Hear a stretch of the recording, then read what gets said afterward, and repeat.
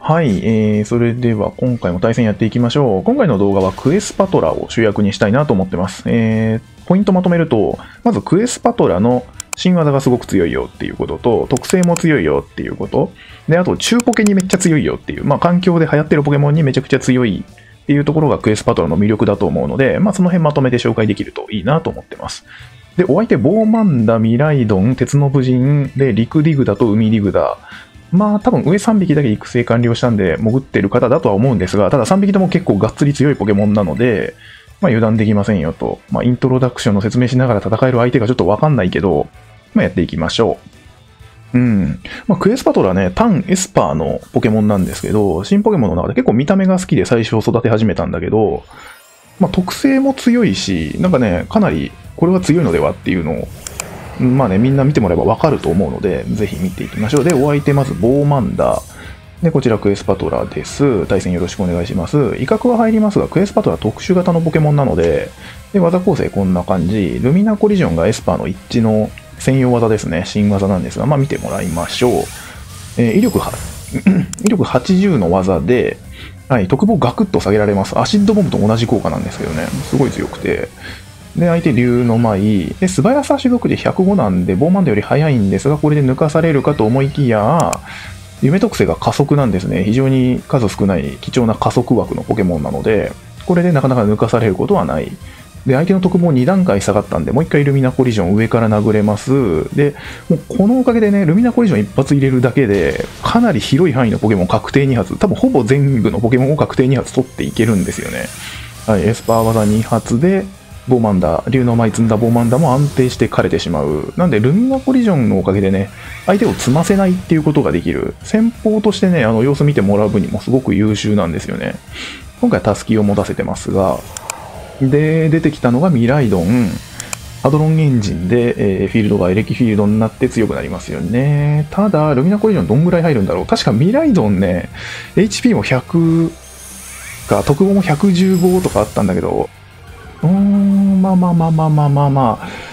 これはちょっとでもね、さすがにガクッと下がっても角に取れないかなと思うけど、で、こっちは気合の助けで耐える。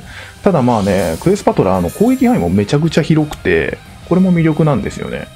うん、エスパー技以外の技もすごい色々覚えるんですよ。それめっちゃ強いところで、加速で上回ってる。で、マジカルシャインとかラスターカノンとかね、あの、悪技、悪タイプで止まらないんですよね。悪タイプに対してマジカルシャインも打っていけるので、はい、ドラゴンに対しても有効なんで、これで確定2発取れる。ミライドンもしっかり取れます。まあね、あのクレセリアとそんなに変わんないぐらい耐久力高いミライドンでもいけるので、まあ、当倍ならまあまず間違いなく、ほぼ角に大体全員いけるんじゃないかな。で、ラストが鉄の武人。鉄の武人も確か素早さ種族値116族なんで、本来105族のクエスパトラー抜かされちゃいますが、うん。まあでもね、加速があるんで、もう安定して上を取れる。ただ、影打ち持ってるよな。鉄の武人って影打ちしてくる？影打ち、まあでも持ってたらどの道しゃあないか。うん。まあまあないね、ないね。なら OK。ルミナコリジョンで一撃でいける。うんうん。まあ火力もまあね、最低限はあるので、特攻もそんな低くはないので、まあまあまあ、こんだけ、とりあえずね、まあ一戦目としては順調に取れたかなと思います。うん、クエスパトラ強いぞ。はい、じゃあ次の試合行きましょう。うんと、お相手がミミッキュ、ガブリアス、アーマーガー、ブリムオン、ドラパルト、ハッサム、ガラル環境からそのままやってきたようなパーティーになってますね。なんで、まあ、エスパー技の通りかなりいい方ではあるので、この感じなら、うん、悪タイプもいないもんね。悪タイプいないならもうクエスパトラ先方も大安定ですね。どんな相手でも基本ルミナコリジョン入れちゃえば、確定2発にできたり、引かせたりできるので、まあ、戦法としての性能めちゃくちゃ良くて適性があるんですね。1匹目クエスパトラーめっちゃ選出しちゃいますね。うん、めちゃくちゃ強いです。気合の助けがあれば、まあ、加速から色々展開できるので、うん、先制技に対しても高速である程度ケアできるので、で、ムクホークかイッカネズミはね、クエスパトラ選んだ時はムクホークかイッカネズミ、ノーマルタイプのポケモンは後方に1匹は準備しときたい。理由はちょっと口述するんですけど、まあ、3匹目どうしようかな。うん、ムクホークでもいいけど、モスノーもね、ちょっと面白い要素を入れてあるんで、今後どっかで紹介したいんですけど、うん、面白いモスノー育てられたんですけどね。まあまあまあ、とりあえず今回はこんな感じでいきましょう。だって、うん、クエスパトラね、素早さ105っていうところが絶妙で、ガブより速いんですよね。これが非常に、それのおかげでね、かなり仕事しやすいっていうところあります。さあ、対戦よろしくお願いします。1匹目がアーマーガ、鋼タイプでクエスパトラ、エスパータイプ、アーマーガーは鋼飛行ですね。緊張感、まあ、木の実は関係ない。で、今一つですけど、ルミナコリジョン打っちゃいましょう。多分向こうも積みたいと思うので、うん、初手アーマーガ積みたいよね、多分。特防下げて、鉄壁使ってくるなら、まあ実質何もしてないのと変わらないな。うん、一旦もらえたようなものを、さて、こっからクエスパトの突破力をお見せできるかな？ルミナコリジョン迷いなく選びます。さあ、2発目。うんうん、いいダメージ。これでもう相手特防4段階ダウン。さあ、挑発。あ、もう、もう2ターン目もくれる。フルワタなんでね、このクエスパトラは。無料で2ターンいただけました。で、素早さも2段階上がりました。さあ、突破できちゃうが、どうする？引いてくるか？引いてくるならそれはそれで美味しいが、相手悪タイプいないんで、もうルミナコリジョンをね、もうノータイムで選べる。これすごい楽でいいですね。半減でもこういう風にもう3ターンあれば突破できちゃうんで、さあ、引っ込んできた。あ、ガブリアス、いいね。ガブリアスはもうおやつです。もうガブリアスはね、対ガブリアスみたいなもんだから、クエスパトラなんて。はい。これで特防2段階ダウンでも受けられない。加速も入る。先制技ないんでね、ガブリアスは。もうルミナコリジョンをただただ食らうだけの置物と化していただく。はい。確定2発。もうマジでもう超広範囲確定2発。半減されても確定3発ぐらいの感じだね。いやもうクエスパトラも汎用性が素晴らしすぎるからね、いい。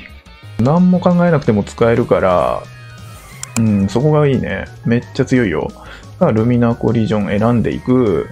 ミミッキュもね、これね、一見不利でしょ。ミミック、テラスタルか。テラスタルされても全然いい。うん。ミミッキュ一見不利に見える。ゴーストタイプが弱点なんだけど、これ実は相性そんなに悪くないんだよね。クエスパトラ、ミミッキュとのこういう対面状況を作られても全然いける。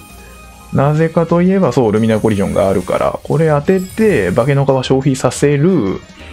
で、させつつ特防2段階ダウンなので、これも次のルミナコリジョンで落ちるんですよね。で、今回は、あ、シャドウクローね。シャドウクロー打ってこられると、一旦引かざるを得ないんだけど、相手も影打ち選ぶしかないので、次。そうなるともうノーマルへの交代が超安定するっていう。で、相手が剣の前に積んできたら積んできたで、それはもうルミナコリジョンもう一発撃てば、タスキ消費して突破できるっていう、もう完全にパターン入れられるんですよね、ミミッキュは。うん、なので、まあ、アクテラスタルとかされるとちょっとめんどくさいけど うん、よっぽど大丈夫。さあ、ここは一カネズミに交代をして、影打ち、まあ、十中八九影打ちだからね、ここは。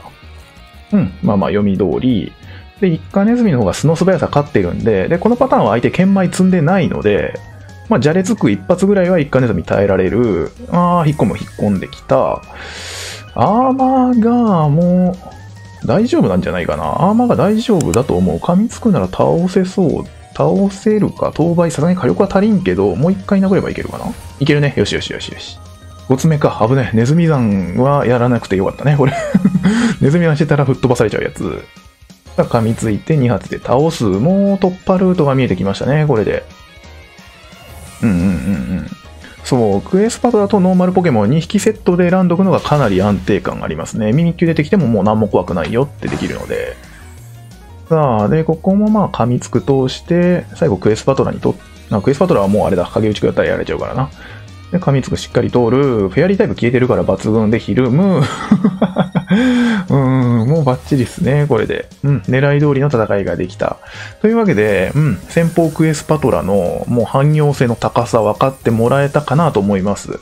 はい、ルミナコリジョン打ってるだけでね、かなりお仕事できるので、まあまあまあ、あの育てて損なしのポケモンかなと思います。かなりね、先発性能安定してるんで、皆さんもぜひ育ててみてください。はい。というわけで、今回はクエスパトラが主役の動画を作ってみました。えー、使ったポケモンは背景に映してあります。って言っても前回と同じですけど。で、クエスパトラね、まあ技は一応フル技になってますけど、まあテラスタルあんまする運用にしてないので、まあイカ様の枠、イカ様はソーブレイズを上から一発で倒せるように入れてあるんですけど、まあラスターカノンかイカ様の枠を、まあテラバーストにして、で、テラスタル格闘とかね、悪とかにしてみても、そうすると、不意打ちとか影打ちにも対応できるようになるので、そういうエース的な使い方もするんであれば、そういうテラスタルもありかなとは個人的に思ってます。はい。まあ、また対戦動画とか解説動画も作っていければと思っているので、まあ、もしよろしければ、こいつ嫌いじゃねえなと思ったら、登録とかね、高評価をしていただけると嬉しいです。それじゃあまた次の動画で。